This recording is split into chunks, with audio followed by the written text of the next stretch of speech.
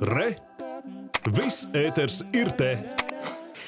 Līdz ar eh, karu Ukrainā manām pieaugusi Latvijas iedzīvotāja interese par dienestu zemesardzē. Līdzīgi notika arī 2014. gadā.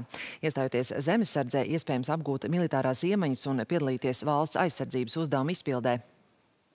Saņem arvien vairāk telefonu zvanus un arī e-pastus par interesi iestāties zemesardzē. Šie notikumi pēdējie, ko mēs novērojam, pēdējās, īpaši pēdējās dienas ir vairojuši interesi par dalību valsts aizsardzībā. Mēs saprotam, kāpēc tas notiek. Līdzīgi ir bijis arī 2014. gadā, kad jau mēs pie, piedzīvojam sākumu šim karam. Tad šobrīd tas atkal ir atjaunojies, un mēs saprotam īstenībā, kas ir šis motivējošais elements, kāpēc mēs saņemam vien vairāk interesi. Zemesardzē var pieteikties pa tālruni 1811 vai rakstot uz e-pastu um, ar adresi esi zemesargs at mil.lv.